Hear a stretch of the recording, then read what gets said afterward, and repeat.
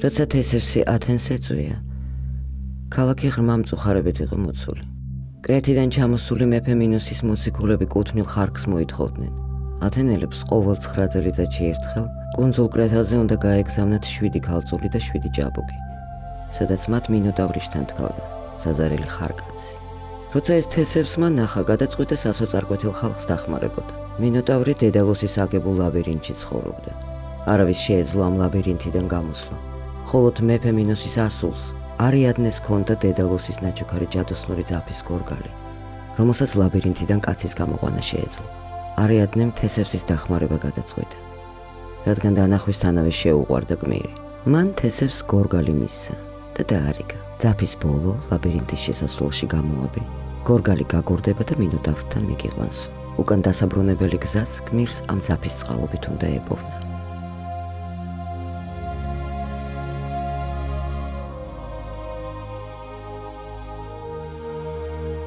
რაც კაცობრიობა არსებობს, არსებობენ ურჩხულებიც. გამოგონილი, ადამიანისვე შექმნილი და ნამდვილი. და არსებობენ გმირებიც, რომლებიც მათგან დახსნას და ქვეყნად სამოთხის დამყარებას პირდებიან კაცს. ეს გმირებიც არიან შექმნილი და ნამდვილი. კაცი ისეა მოწყობილი, რომ ზოგჯერ გამოგონილი გმირებისა უფრო შეერა და შექმნილი ურჩხულებისა უფრო ეშინია. და ხშირად არც თუ უსაბუთია.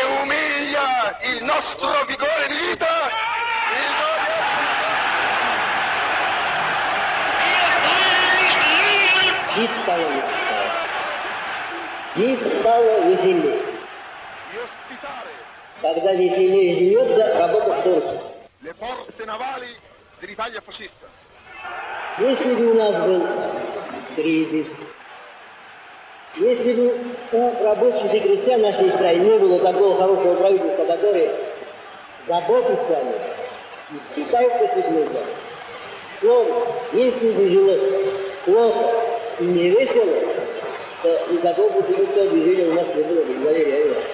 Не было.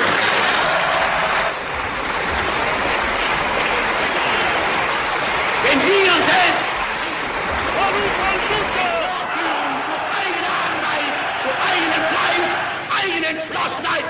eigenen Trotz, eigene Beharrlichkeit, dann werden wir wieder emporsteigen, genau wie die Väter einst auch Deutschland nicht Selbst erhielten, sondern selbst nicht schaffen mussten.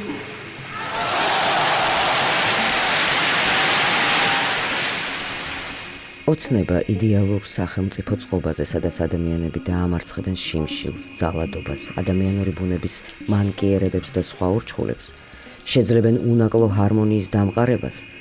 კაცობრიობის უძველესი იდეალია. როგორი უნდა იყოს ქვეყნის მოწყობა? ვინ უნდა მართავდეს? ვის უნდა მორჩილებდეთ? ვისთვის არის სახელმწიფო?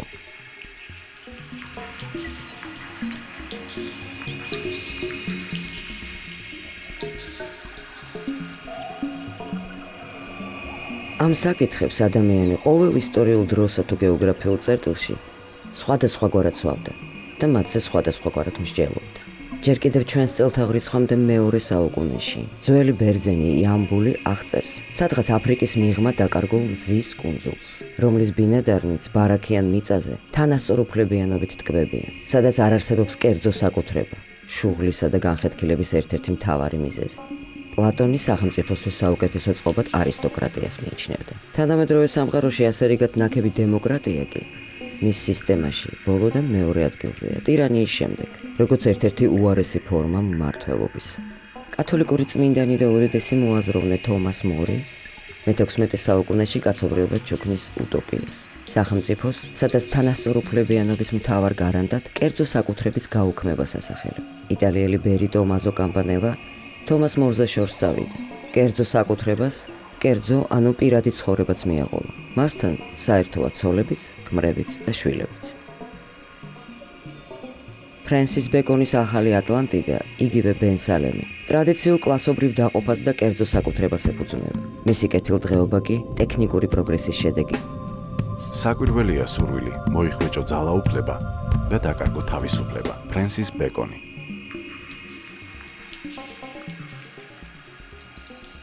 უამრავი რამ გამოსცადა ადამიანმა, თეორიასა თუ პრაქტიკაში.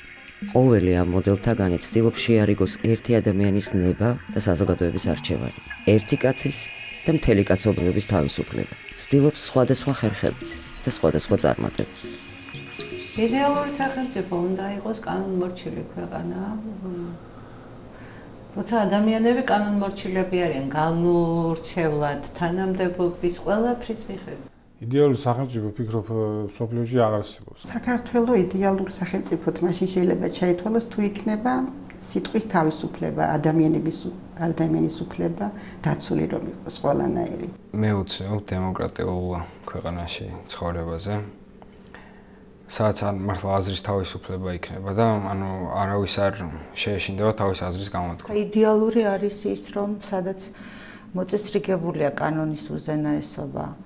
სახელმწიფო უნდა იყოს იდეალური. როცა ჩვენ არ გვეცოდინება ვინ არის პრეზიდენტი, ჩვენ ჩვენი საქმე გვექნება, ყველა იმუშავებს. ეს არის იდეალური სახელმწიფო, სადაც იქნება დაცული ადამიანის ყველა უფლება. თავრობას თავის ხალხს დააფასებს, პიროვნებებს და მას ექნება გამოხატვის საშუალება მისი ნიჭი და მისი ცოდნა მოახმაროს თავის ქვეყანას და ასევე ქვეყანას დაიცავს მის პიროვნებას. საქართველო უნდა იყოს ალბათ დემოკრატიული, სადაც რა ვიცი, ადამიანის უფლებები იქნება დაცული. აქედან გაქცევას, რომ არავინ არ ცდილობდეს. 90-იან წლებში, როცა უტოპიური საბჭოთა სახელმწიფო დაიშალა, უამრავი პატარა ქვეყანა აღმოჩნდა პოლიტიკურ ლაბირინთში. აქედან გამოსასულად არეადნას ზაფი იყო საჭირო. ეს ზაფი კი რეალურ განვითარებას ჩამოშორებულმა დედამიწის მე-6-ედმა მე-20 საუკუნეში რამდენიმე ათეული წლით დაკარგა. ჩვენ დღეს აქ შევიკრიბეთ, რადგან ჩვენი მომავალი გზა, ჩვენი მომავალი მიზანი არის სწორედ ის თავისუფლება, რომელიც ანდერძად გადმოსცეს ჩვენმა დიდმა ქართველებმა და მათ შორის დავით აღმაშენებელმა.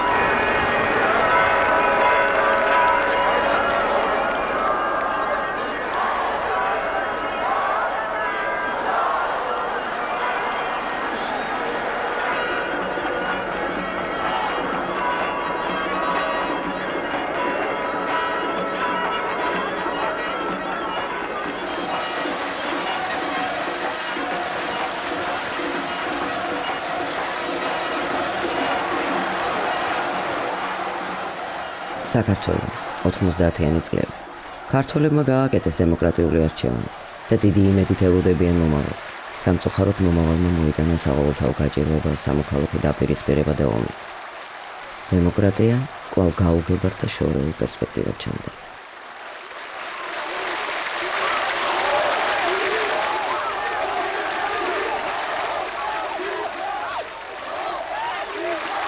მთავრობის სახლის წინ სრულიად საქართველოს წმინდა ილია მართლის საზოგადოება განმეორებით მიმართავს პროტესტის უკიდურეს ფორმას შიმშილობას რუსთავის გამზირზე ეროვნული დამოუკიდებლობის პარტიის შტაბ-ბინის წინ გრძელდება შიმშილობა აქციის მონაწილეთა მოთხოვნები იგივეა, რაც ადრე გამოცხადდა. პირველი საშუალო სკოლის ეზოშიც მიმდინარეობს საქართველოს მონარქისტული კონსერვატიული პარტიის ინიციატივით მოწყობილი შიმშილობის აქცია. ერთი სიტყვით შიმშილობს ორივე მხარე, ვინც მხარს უჭერს საქართველოს რესპუბლიკის პრეზიდენტს და ვინც ოპოზიციაშია საქართველოს რესპუბლიკის ხელისუფლებამ.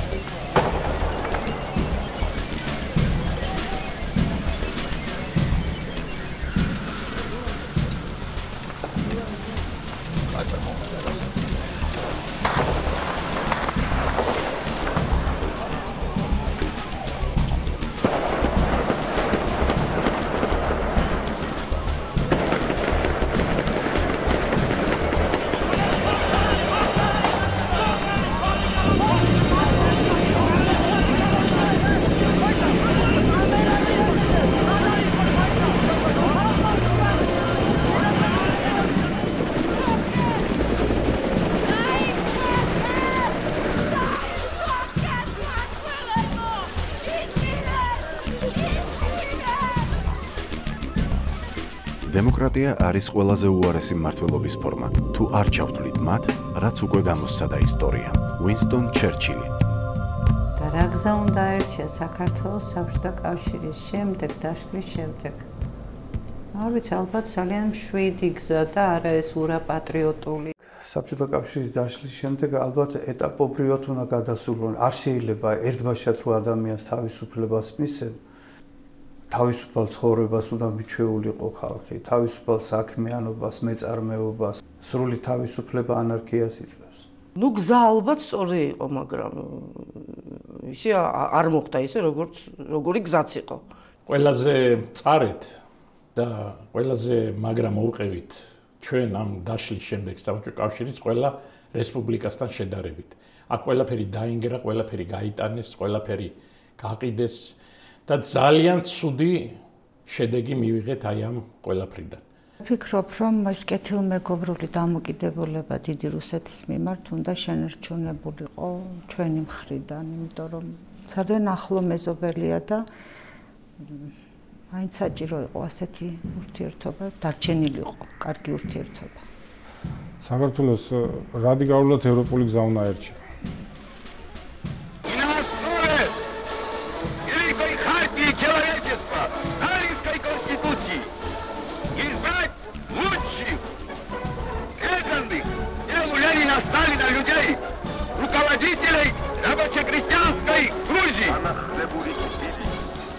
საბჭოთა კავშირში დაბადებულებს ოცნებაც არ შეგვეძლო მართლობის ამ უარეს ფორმაზე. იმაზე ფიქრიც კი რომ თუნდაც ერთი დღე გვეცხოვრა თავისუფალ დემოკრატიულ საზოგადოებაში, კრეხელურ სიამოვნებას გვქორიდა.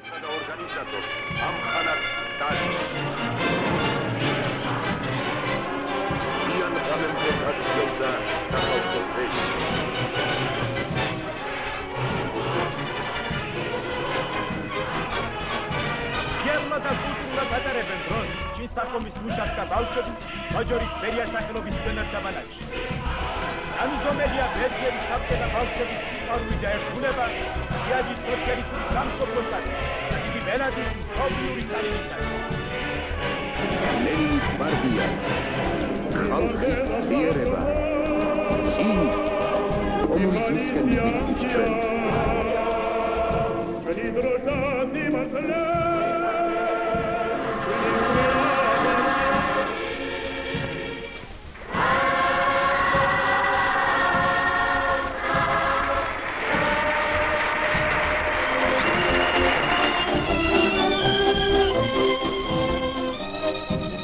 ბათუმი შავი ზღვის სანაპიროს ერთ-ერთი ულამაზესი ქალაქია.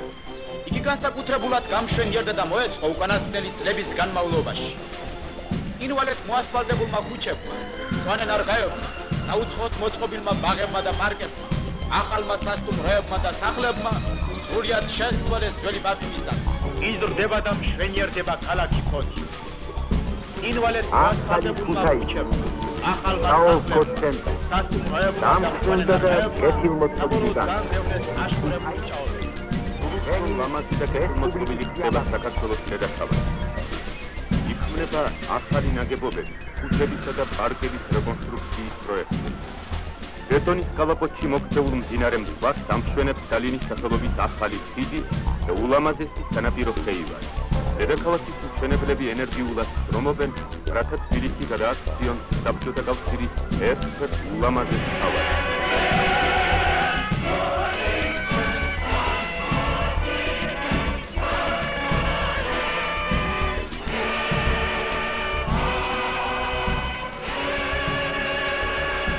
და აი დადგა დრო, რომელსაც რიგითი საბჭოელი ვერ წარმოედგენდა. ახლა მას თავაზობენ საკუთარ წყალზე გამოსცადოს, რაც ნიშნავს დემოკრატიული არჩევანი. თავისუფლება წესრიგში, კანონიერი თავისუფლება. თუმცა კანონი homo soveticus-ისთვის მეტად საეჭვო ღირებულების მქონე რამ არის. კანონი მას დიდად არასოდეს იცავდა. სამაგიეროდ დიდი გამოცდილება აქვს დაგროვილი, როგორ იპოვოს კანონის გვერდის ავლით ნამდვილი დამცველი. პატრონი. из прошлого нашей страны может в малейшей степени сравниться с сегодняшним днем. Нет и не было таких лет. Охваченные энтузиазмом трудящихся активистов, как и в других городах и школах Грузии, вышли сегодня ეს არ არის რუსული ხალხი ჩვენს პრაქტიკულ გამოცდილებას დასავლური პოლიტიკური თეორია აანალიზებს და სახელებს არქმევს. სანამ ჩვენ დემოკრატია ლობიოობა გვეგონა, ნეოპატრიმონიალური რეჟიმი ჩამოგვიყალიბებია, სადაც ყველაფერს პატრონი წვეთს. ქვეყანას, სოფელს და ქალაქს ისე მართავს, როგორც საკუთარ მეურნეობას, პირად საკუთრებას. თუ გინდა ჩემი პური ჭამო, ჩემი კანონებით უნდა იცხოვრო. ფორმალური და ინსტიტუციონალური ურთიერთობები არაფორმალურმა პატრონ-კლიენტელურმა ურთიერთობამ ჩაანაცვლა. თითქმის ყოველ საბჭოთა რესპუბლიკას თავისი პატრონი გამოუჩნდა. უალტერნატიულ ლიდერებს კომუნიზმის ნათელი გზიდან გადაცდენილი ხალხები ბრმად მისდევენ დასავლური დემოკრატიისკენ მიმავალ დახლართულ და ხიფათიან ლაბირინთში. ტირანიისგან თავდახსნილი ერები ახალ-ახალ ტირანებს ქმნიან და მათ მორჩილდებიან. ყველაფერი ისეა, როგორც ევგენი შვარცის ზღაპარში დრაკონისა და გმირის შესახებ. ადამიანები მიჩვეულან მონობას და დიდად არც კი უნდათ რომ ვინმე გაათავისუფლოს. სამწუხაროდ მათ გასათავისუფლებლად მხოლოდ დრაკონის დამარცხება საკმარისი არ ყოფილა. ქართულ ხატებზე დრაკონის ადგილას გამოხატულია რომის იმპერიის სიმბოლო დიოკლეტიანე, რომელსაც მინდა გიორგი მირავს იმართლის და ვაშკაცობის შუბი. ასევე განგმირავს საქართველოს დრაკონის ახალ იმპერიას გამარჯოს დამოუკიდებელ თავისუფალ ქრისტიანულ უძლეს საქართველოს. ყველაზე დიდი გამოწვევა ყველაზე დიდი პრობლემა ჩვენი ქრისტე ამიტომ შემოიჭრენ ისინი აქ და მათი აგრესია იყო პასუხი ჩვენ აღშენებლობაზე. ჩვენი პასუხი მათ აგრესიაზე იქნება აღშენებლობა, კიდევ მეტი აღშენებლობა, ძალიან დიდი აღშენებლობა, როგორც არასდროს ჩვენ ისტორიაში. რამდენიც არ უნდა გვიკიჟინო. ფაქტი სახეზეა და ფაქტი ძალიან ჯიუტია, რომ საქართველოში არასდროს არ აღშენებულა ამდენი, რამდენიც აშენდა ბოლო რამდენიმე წლის განმავლობაში ვარდების რევოლუციის შემდეგ დავით აღმაშენებლის შემდეგ არასდროს საქართველოში ასეთი აღშენება როგორც ჩვენ ეპოქაში არ ყოფილა. ქართლის პატრონი და ადამიანის პატრონის თუნ უნდა იყოს ადამიანი თავის პატრონი. ჩემი აზრით ისეთი ადამიანია უპატრონო, რომელსაც არ ქვეყანას არ ადარდებს ადამიანი. თავისუფალ ადამიანს პატრონი არ ჭირდება. ის თვითონ თავის პატრონი იქნება თუ ჭკუ აქვს თავში. უპატრონო ქვეყანა და უპატრონო ადამიანი ჩემს აზრით ის არის, ვინც ვერ გძნობს, რომ თავის თავისუფალი არის. ქართლის პატრონი არის თავად ქართული ხალხი. არ შეიძლება ჩვენ გარეთ პატრონი ვეძებოთ, ქართულმა ადამიანმა გარეთ პარტნიორი უნდა ეძებოს და არა პატრონი. ყველაზე დიდი მონა ის არის, ვისაც გონია რომ თავისუფალია მაშინ, როცა არ ფლობს თავისუფლებას. გოეთე. ბევრი რამის დეფიციტი გააჩნდა დიდ საბჭოთა კავშირს. ყველაფერი ეს цаრიელი დახლები თუ უბადრუკის სასკვების ობიექტები ცხადყოფდა ერთ მთავარ დეფიციტს. ყველაზე დიდი დანაკლისი, რასაც საბჭოთა მოქალაქე განიცდიდა, გახდათ არჩევანი და მისი თავისუფლება. მასაძლევენ შვიდობის დიდ მეტროში. კომუნიზმის გენიოს ფუროთ მოძღვარ ამხანაკ სტალინს. რეგრძელი იყო დიდი სტალინი რეგრძელი იყო სტალინის სახელოვანი თანამებრძოლი ლავრენტი ბერია საქართველოს შრომელებმა ერთ სულოვნას მისცეს ხმა ჩვენ ამასა და მასწავლებელს გაბრძოთა ხალხის პირველ ჩეუ შობლიურ სტალინს მის ერთგულ თანამებრძოლებს ერთ სულოვნას მისცეს ხმა ჩვენი ქვეყნის მოწინავე ადამიანებს კომუნისტებისა და უპარტიოების სტალინური ბლოკის კაპიტანი.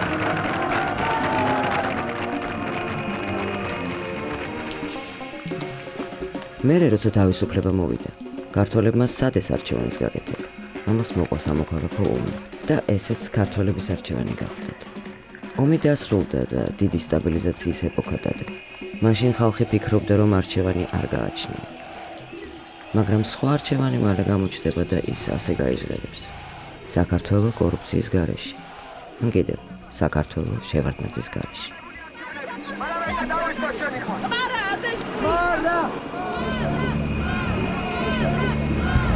იმიმედით რომ ახალი მართველი უკეთესი იქნება, ხალხი სიამოვნებით ჯანყდება ძველის წინააღმდეგ. მაგრამ მალე რწმუნდება რომ შეცდა, რადგან ახალი მართველი ძველზე უარესი აღმოჩნდება. მაგიაველი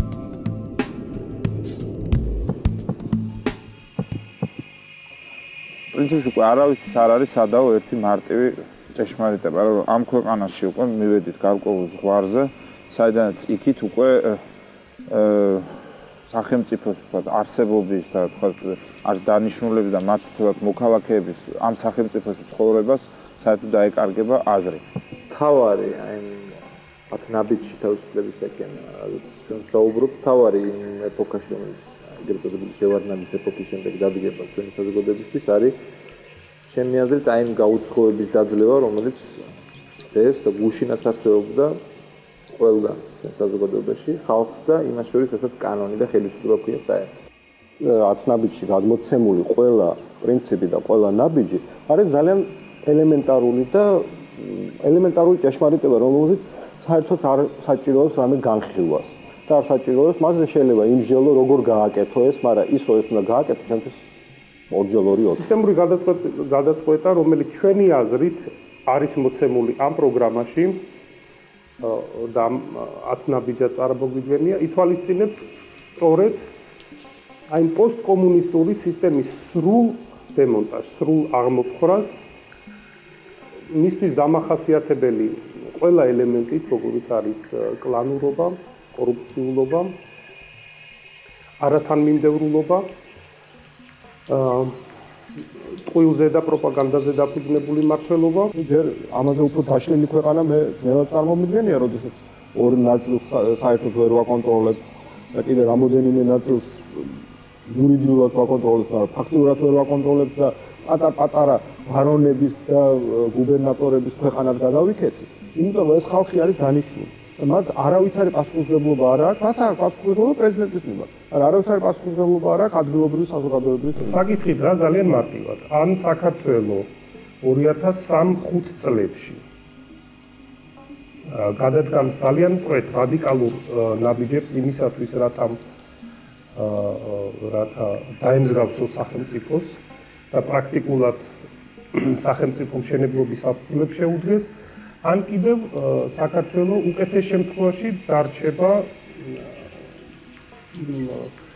გასული საუკუნის დასაწყისის მარიონეტული ტიპის ეს ლათინურ ამერიკულ რაღაც კარიკატურულ ბანანის რესპუბლიკებად ბანანის გარეშე. დასწრები არის, ხო?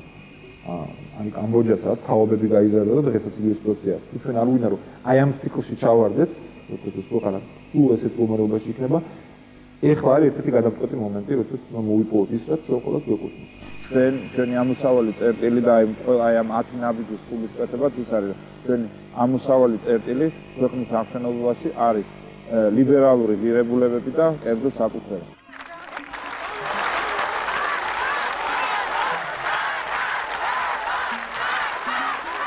21 საუკუნე ჩვენ ხმამაღლა დავიწყეთ. საქართველო, რომელიც საუკუნეების მანძილზე პერიფერიულ ქვეყნად რჩებოდა, სოფლიო პოლიტიკური მოვლენების ავანგარდში დადგა. სადღაც ლაბირინთის ჩიხში ჩარჩენილებისთვის დიდი ხნის მერე პირველად გაჩნდა იმედი, რომ სამშვიდობოს გავალთ. ამ სცენაზე გამოჩნდნენ გმირები, რომლებიც ირწმუნებიან, რომ სწორედ მათ ხელშია არიადნეს ზაფი. ზოგიერთ მათგანს არასოდეს ქონია საბჭოთა პასპორტი და სრულწლოვანი მოქალაქე უკვე დამოუკიდებელ საქართველოში გახდა. ისინი არიან პირველები, დაკარგული თაობის შემდგომ, ისინი აცხადებენ დასავლური ლიბერალური ღირებულებების მატარებლები და ჩვენს დანგრეულ გაუბედურებულ ქვეყანაში მათი გამდარებლები ვართ.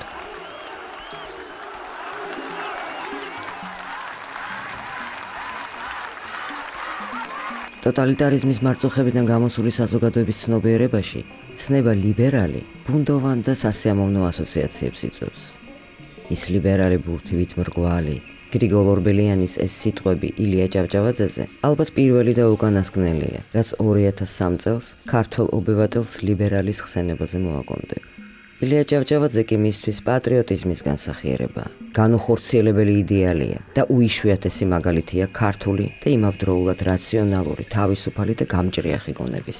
მისი იდეების პროგრესულობა და მისი საქმეების მნიშვნელოვანება იმდენად დიდია, რომ ილიას კულძე უარი თავად სტალინმაც კი ვერ თქვა. 1907 წელს ქარიზმის აგენტებმა აქ ვერაგულად მოსკლეს დიდი ქართველი მწერალი ილია ჯავჯავაძე.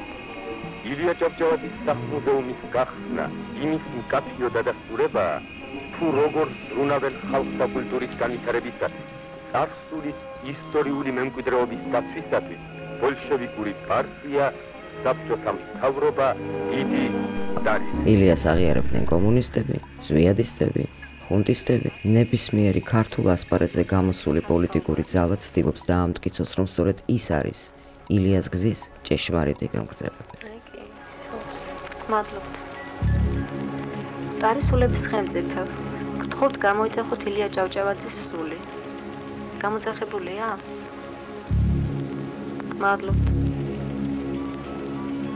ილია ჭავჭავაძის სულო. გთხოვთ გვიპასუხოთ. როდის მიიღებს საქართველოს დამოუკიდებლობას? რა? რა?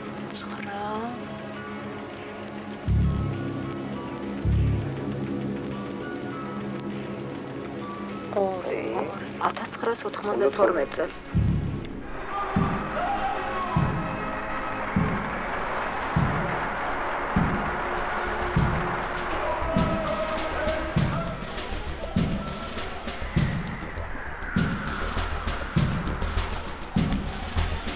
ლაბირინთში დაკარგულისთვის მთავარია ის წერტილი იპოვოს, საიდანაც გზა დაიწყო. მოდი ცოტა ხნით დავივიწყოთ ქართული ვარდობის ხანა და დაუბრუნდეთ უკან. მე-20 საუკუნის საკმაოდ ლოგიკურ დასასრულთან. დიდი წითელი ურჩხულის დამარცხების შემდეგ დასავლურ ცივილიზაციას თამამად შეუძლია მოერგოს გამათავისუფლებელი გმირის როლი და მიიტანოს ყოფილი სოცბანაკის ხალხებამდე ნანადრე თავისუფლება. პირველ რიგში არჩევანის თავისუფლება. მაგრამ რას აირჩევს ლიბერალურ ფასეულობებში გაუთვითცნობიერებელი პლებსი? პოლიტიკური ლიდერები ახლად გათავისუფლებულ ქვეყნებში უმთავრესად პოპულისტური პროგრამებით ცდილობენ ქულების დაწერას. უკიდურეს ნაციონალისტურ თუ რელიგიურად რადიკალურ იდეებს ხალხი უფრო იულად უჭერს მხარს, ვიდრე რთულად გასააზრებელ ეკონომიკურ პროგრამებს. იციან კი ტოტალიტარულ რეჟიმში დაბადებულებმა რა განსხვავებაა ბოლშევიზმსა და დემოკრატიას შორის. ვაი თუ თავად გათავისუფლებული იქცეს ურჩხულად.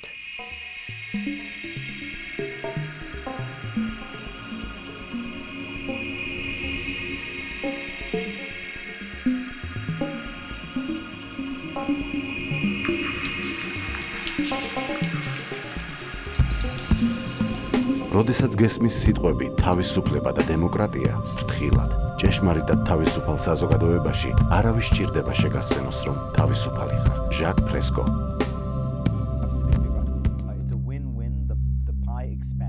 1997 წელს ერთ-ერთი უმნიშვნელოვანესი ამერიკელი ანალიტიკოსი ფარიდ ზაქარია აქვეყნებს სტატიას არალიბერალური დემოკრატიის ჩამოყალიბება.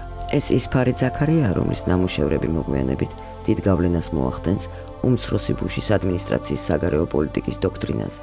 იგი საინტერესო საჭირბოროტო და მწვავე საკითხს სვამს. ჩვენ ვხედავთ საერთაშორისო ცხოვრებაში შემაშფოთებელი ფენომენის გამოჩენას. ეს არის არალიბერალური დემოკრატია. ამ სტატიამ სამეცნიერო წრეებში საკმაოდ დიდი გამოხმაურება პოვა და მისმა ზოგმა მოსაზრებამ სკანდალურადაც კი გაიჟღერა. ზაქარია თulis, რომ დემოკრატიის რაობაზე საკმაოდ დამახინჯებული წარმოდგენები ვრცელდება. ლიბერალიზაციის და დემოკრატიზაციის პროცესების აღრევა არ შეიძლება. თავისუფალი არჩევნების სამართლიან პოლიტიკურ წყობასთან გაიგივება კი შეცდომაა. დემოკრატია არც თვითმიზანია და არც საზოგადოებრივი პოლიტიკური იდეალის განხორციელება. ხოლო ის, რომ დემოკრატიული მართლობის სისტემა შეიძლება არალიბერალურიც აღმოჩნდეს, რომ ან შეიძლება მოიტანოს უმრავლესობის ტირანია, ან განამტკიცოს ავტორიტარული მართლობის ძალაუფლება, ამას უკვე ისტორიული ფაქტებითაც ამოწმებს. მისი წერილი ასე მთავრდება: საუკუნის მიჯნაზე ჩვენი ამოცანაა დემოკრატია უსაფრთხო იყოს მსოფლიოსთვის.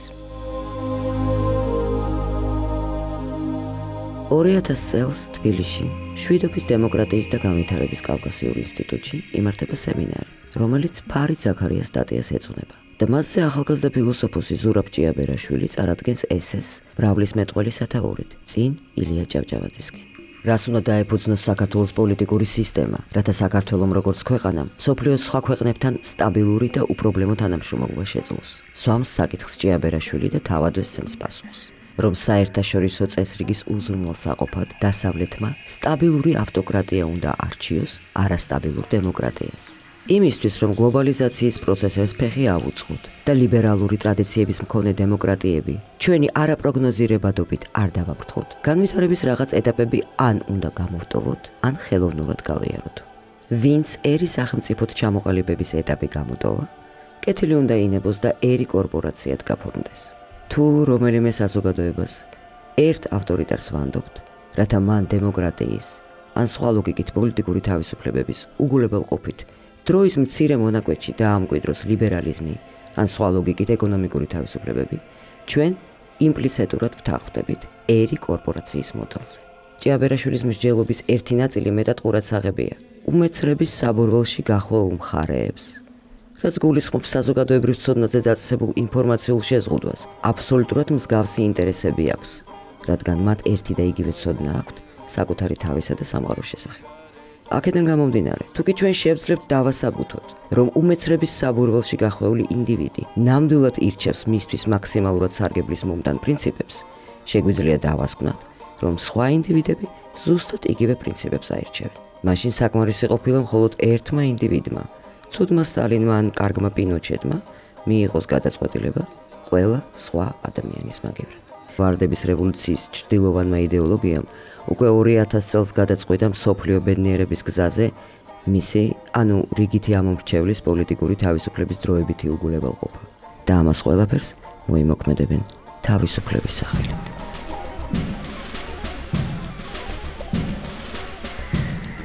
ვაიძულებ თავისუფლებას.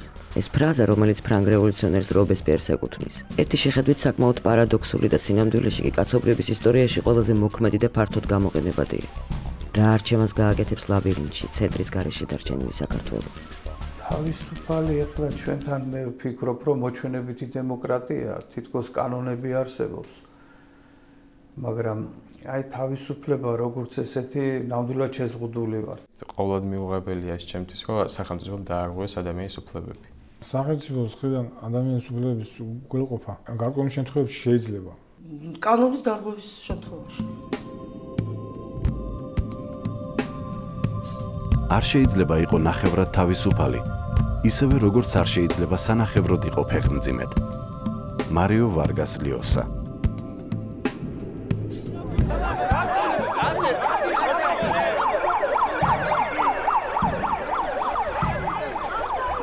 ზედამთვარე რომ ჩემსკენ იყვნენ. ვარსკვლავებს სულაც არ შევეპოვებიო ძველად უთქვამს ჩვენს ქართველებსა და თავისი ცხოვრებაც თანახმად ამანდაზისა მოუწყვიათ წინანდელი ქართველი არც ერთს ვარსკვლავს ნებას არ მისცემდა წაერთმია მისთვის რომელიმე უფლება ზისა და მთვარისაგან მონიჭებული რასაც კი მას ხელმწიფე და კანონი არ გუნებდა ახლა რაღაცა ვხედავთ სრულიად წინააღმდეგ სურათს ყოველს ბჟუტა ვარსკვლავს შეუძლიათ ხმა მოუღებლივ წაართვას ჩვენის დროის ქართულს უფლება ნაბოძები მზისა და მთვარისაგან. დაიბრიყოს იგი დაბალღობეთ გახადოს და ქელოს და განემარტო ვარსკვლავსა პირველი რაც ვარდების ხელისუფლებამ გააკეთა დაუნდობელი ბრძოლა გამოუცხადა ეგრეთ წოდებულ საყოფა ცხოვრება კორუფციას რეალიტი შოუს ჟანრში გადაწყვეტილმა რეპრესიებმა, რომელიც ქართველი მოქალაქეების თვალწინ ტელეეკრანებზე მიმდინარეობდა, ორაზროვანი დამოკიდებულება გამოიწვია. სამაგეროდ, ერთნიშნულოვანი აღიარება მოიპოვა საყოფაცხოვრებო კორუფციის აღმოფხვრამ. გაუქმებული საგზაო ინსპექცია ახალმა ეფექტურმა სამსახურმა შეცვალა, რომლის თანამშრომლებიც ნამდვილად არიღებდნენ ქრთამს. მსგავსი ცვლილებები განხორციელა და განათლების სისტემაშიც. ინსტიტუტში ჩარიცხვა ან კარგი ნიშნის მიღება კანონის გვერდისავლით სრულიად შეუძლებელი გახდა. ვარდობის ხანის დასაწყისი ქართულ პოლიტიკაში უტოპიურობამდე ეფექტური ჩანდა. აგი მოგვიანებით დაწერენ კიდეც დასავლელი ავტორები, რომ საქართველოს საკუთარ თავს წარადგენს როგორც თანამედროვე კაპიტალისტური უტოპიაო.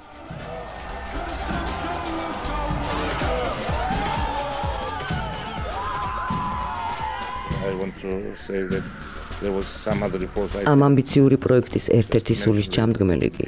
საქართველოს მთავრობის იდეოლოგი ლიბერტარიანელი კახა ბენდუკიც ეკახლა მას ეკუთვნის სიტყვები. გავყიდით ყველაფერს სინდისის გარდა. ლიბერტარიანიზმი ლიბერალიზმის ერთ-ერთი შედარებით ახალი ფრთაა რომელიც ეკონომიკაში გულისხმობს სახელმწიფოს სრულ ჩაურევლობას ბიზნესში თავისუფალ ფასებს რბილ საგადასახადო პოლიტიკას მოკლედ სამოთხეს ბიზნესმენებისთვის თავისუფალი მეწარმეობა საყოველთაო ბედნიერებისა და აყვავების საფუძველია. ერთადერთი ამოცანა ხელისუფლებისა არის პირადი საკუთრების ხელშეუხებლობისა და ინდივიდის უფლებების დაცვა. ყველაფერი დანარჩენი უზურპაცია. რელიგია, ღმერთი, ალტრუიზმი, კოლექტივიზმი, თავგანწირვა, უანგარო სამსახური, მისტიციზმი და ინტუიცია. თავისუფალი ადამიანის უბოროტესი მტრები არიან. უზნეო წინაღობანი ნათელი მომავლისა და პროგრესის გზაზე. საინტერესოა, პროგრესისა და ნათელი მომავლის რამდენნაირი გზა დარჩა გასავლელი, სანამ ჩვენნაირი ქვეყნები ამ ლაბირინთიდან გააღწევენ.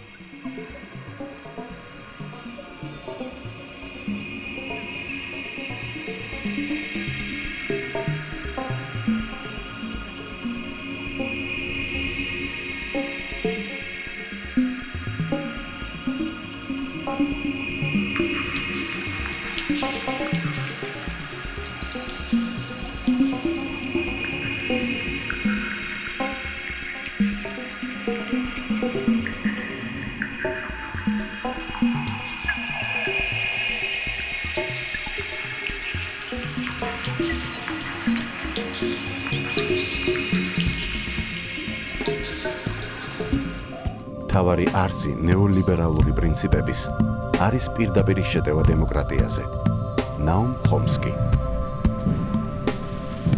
ჭიაბერაშვილმა 2000 წელს შექმნილ საკმაოდ საინტერესო ნაშრომში, რომელიც პოლიტიკური თავისუფლების დროებითი შეზღუდვის აუცილებლობას მიეძღვნა, ლიბერალური დასავლური ღირებულებების მომხრეებს ჩილელი დიქტატორის პინოჩეტის მაგვარი მართლის აუცილებლობაზე დაფიქრება შესთავაზა. აუგუსტო პინოჩეტმა ჩილეში დემოკრატიულად არჩეული ხელისუფლება დაამხო და ლიბერალური ეკონომიკის პრინციპების გატარება ცეცხლითა და מחვილით შეძლო. მისი დიქტატურის პირობებში ჩილეს ეკონომიკური მდგომარეობა საფუძვლიანად გაუმჯობესდა. როცა საქართველოსიც მოხდა გადატრიალება, ლიბერალური, უფრო ზუსტად კი ლიბერტარიანული ეკონომიკური პოლიტიკის გატარებაზე ჩვენთანაც დაიწყეს რუნა. ჩვენმა რევოლუციონერმა ლიდერმა 2009 წლის 6 ოქტომბერს საკანონმდებლო ორგანოში ეკონომიკური პაკეტი წარადგინა, რომელსაც თავისუფალი ეკონომიკური აქტი უწოდა და თავისი კურსის სათავები ისევ დიდი ილიას მოღვაწეობაში იპოვა. ციტატა პრეზიდენტის სიტყვიდან. როდესაც საქმე ეკონომიკურ ლიბერალიზმს ეხება, ჩვენ არავისგან არაფერი არ გვაქვს გადმოსაღები. ჩემთვის მთავარი აღმაფრენის წყარო მე-19 საუკუნის უდიდესი ქართველი მოაზროვნე და ჩვენი დღევანდელი სახელმწიფოებრივი შეგნების ერთ-ერთი ფუძემდებელი ილია ჭავჭავაძეა. ჩვენ ყველანი აღვიზარდეთ ილიას შემოქმედებაზე, მაგრამ ცოტამ თუ იცის, რომ სწორედ ილია იყო პირველი ქართველი ლიბერტარიანელი თავისი ეკონომიკური ფილოსოფიით. ილია იყო პირველი ქართველი, ვინც გადაგებდა თავისუფალ ვაჭრობას, გახსნილ ეკონომიკას, თავრობის მცირე ჩარევას ეკონომიკაში და დაბალ ლიბერალურ გადასახადებს. ამიტომ ლიბერალიზმის გზის არჩევით ჩვენ ილიას გზას ვირჩევთ. გზას, რომელიც მაშინ ილიასთვის ოცნებაშიც კი მიუწვდომელი იყო. 6 წლის წინ ჩვენ ეკონომიკური თვალსაზრისით სწორედ ამ ილიას გზაზე დავდექით. და აგერ უკვე 6 წელიწადში ამ გზამ იქამდე მეგვიყვანა, რომ სოფლიო ბანკის მონაცემებით პლანეტაზე მხოლოდ 10 ქვეყანაშია ბიზნესის კეთება უფრო იოლი ვიდრე საქართველოში. ციტატის დასასრული. ბიზნესის დაწყება ერთია, ბოლომდე მიყვანა კი მეორე. საქართველოს ლიბერტარიანულ კურსს ბზარი მალევე გაუჩნდა. სახელმწიფოსა და ბიზნესის განცალკევება რომ რეალურად ფარსი გახლავთ, არავისთვის საიდუმლო არ არის. საყოფაცხოვრებო კორუფცია ელიტურმა და კარგად მიმალულმა კორუფციამ შეცვალა. ისევ გაჩნდა ქართულ ცნობიერებაში პატრონის, ეგრეთ წოდებული კრიშის თემა. თუმცა რატომ გაჩნდა? განა ის როდისმე დაკარგულა ჩვენი სინამდვილიდან? კერძო საკუთრებების ჩამორთმევა და აყადაღება პოლიტიკური ნიშნით ყოველდღიურ ამბად იქცა. უკმაყოფილებას ისიც წვევდა, რომ მიუხედავად გარკვეული სოციალური ფენებისათვის ცხოვრების პირობების გაუმჯობესებისა, უმუშევრობის დონე კვლავ წარმოუდგენლად მაღალი რჩებოდა. განსაკუთრებით სოფელი, მისი მეურნეობა და მოსახლეობა დაიჩაგრა. 2008 წლის აგვისტოს შემდეგ საქსნობლად იკლო ქვეყანაში ინვესტიციების განხორციელების მსურველებმა. თუმცა ეს მხოლოდ საომარი მოქმედების ბრალი არ იყო. ლიბერტარიანელად მონათლული ხელისუფლების მხრიდან საგადასახადო რეკეტმა საქსნობლად შეარყია ქვეყნის რეპუტაცია. ხელისუფლების მოქმედებანი კითხვას კითხვაზე ბადებდა. პოლიტფილოსოფიასა თუ ეკონომიკაში გაუთვიცნობიერებელ უბრალო მოქალაქეებს ისევე როგორც გათვითცნობიერებულ ექსპერტებს, ერთნაირად გაუჭირდათ თანმიმდევრული და გამჭვირვალე ანტიკორუფციული კანონის უზენაესობაზე დამყარებული პროექტის დანახვა იმაში, რასაც ახალი ქართული სახელმწიფო ერქვა. წერალი ჟურნალისტი და ანალიტიკოსი, კარნეგის ფონდის უფროსი სპეციალისტი თომას დევაალი წერს: ფართოდაა გავრცელებული წარმოდგენა, რომ თავრობამ დაადგინა ბიზნესის კეთების ისეთი წესები, რომლებიც მორგებულია მის საკუთარ ინტერესებს. ცოტაა საჯარო ინფორმაცია იმის შესახებ, თუ ვინ ფლობს ქართული ბიზნესისა და მედიის დიდ ნაწილს. ადგილობრივი და უცხოელი დამკვირვებლები შეშფოთებას გამოთქვამენ ელიტარული კორუფციის გამო. 2007 წლის ნოემბრის შემდეგ ქართულ პოლიტიკურ სივრცეში ახალმა პრობლემამ მიჩნია თავი. ხელისუფლებამ მედიაზე მონოპოლია აიღო. სიტყვის თავისუფლების გემოგაგებულ საზოგადოებაში მალე გაჩნდა ნოსტალგია შევარდნაძის დროზე, როცა არღზე, რომელიც მთელი საქართველოს მასშტაბით მაუწყებლობდა, შეიძლებოდა გამოსულიყო ოპოზიციონერი სააკაშვილი და ხელისუფლებისათვის ბრალი დაედო კორუმპირებულობაში. ისევ აქტუალური გახდა ერთი ძველი ანეკდოტა. რუზველტი სტალინს ეტრაბახება ჩვენ ამერიკაში ისეთი სიტყვის თავისუფლება გვაქვს, რომ ნებისმიერ მოქალაქეს შეუძლია ხმამაღლა განაცხადოს რუზველტი ცუდი პრეზიდენტიაო. სტალინმა მხრები აიჩეჩა და უპასუხა დიდი ამბავი ჩვენთანაც ნებისმიერ მოქალაქეს შეუძლია განაცხადოს რუზველტი ცუდი პრეზიდენტიაო. ერთ მშვენიერ დღეს ქართულმა მომრჩეველმა გაიღვიძა და აღმოაჩინა, რომ ერთ პარტიულ ავტოკრატიულ სახელმწიფოში ცხოვრობს, რომლის ლიდერი დიდი ენთუზიაზმით მიგვიწვის წინ გაურკვეველი და მხოლოდ მისთვის ნათელი მომავლისკენ.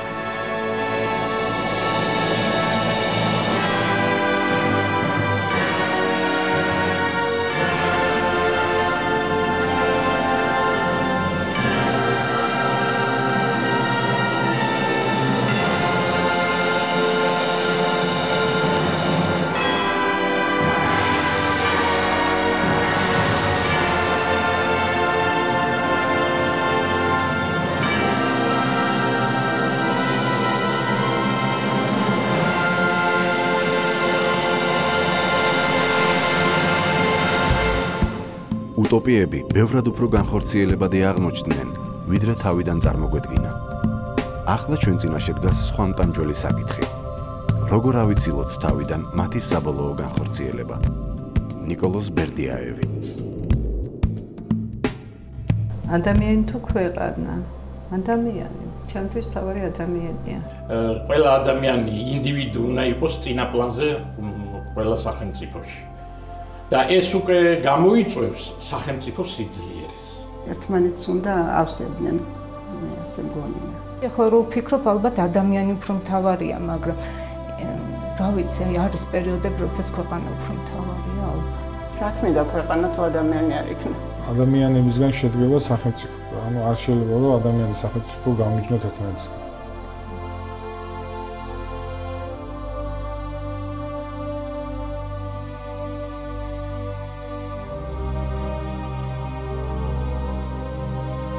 შეუძლებელია თავისუფალი და დემოკრატიული სახელმწიფოს არსებობა თავისუფალ და ღირსეულ მოქალაქეთა გარეშე. ვაცლავ ჰაველი. ილია ჭავჭავაძე შთამომავლებს უკვე 20 წელია რაც ჩვენი თავი ჩვენად ვეგვაყუთვნის. დიდი ქართველი ამაზე მხოლოდ ოცნებობდა, მაგრამ განა ასეთი წარმოედგინა მას ჩვენი თავისუფლება. თავისუფლება, რომელიც აგერ უკვე 20 წელია, გამათავისუფლების მოლოდინში იხარჯება და იფლანგება. თავისუფლების ნაცვლად კი მხოლოდ მისი ჰიბრიდი შეგვჭა. ნახევრად ფეხმძიმობის შედეგად ჩობილი მონსტრი, რომელიც გაბან თავისუფლების სახელით შეგვიწყო ლაბერინთში და თავად იქცა დრაკონად.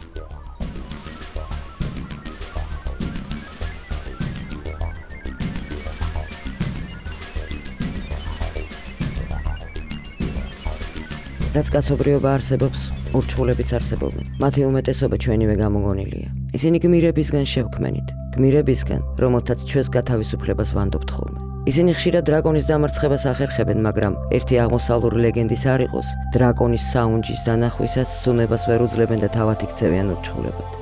ისტორიული ლაბირინთის ბნელ მოსახვებში ამგვარი ურჩხულის პირისპირ აღმოჩენაა ყველაზე საშიში. სწორედ ის გვიშლის გავახციოთ ამ დახლართული გზის პერიფერიიდან. დავინახოთ ადამიანი თელი ამ დავიდარების ცენტრში. ადამიანი, რომელიც მთელ პასუხისგებლობას გმირს, პატრონს ან გამათავისუფლებელს არ ანიჭებს. ადამიანი, რომლის უპირველესი უფლება არჩევანის თავისუფლება.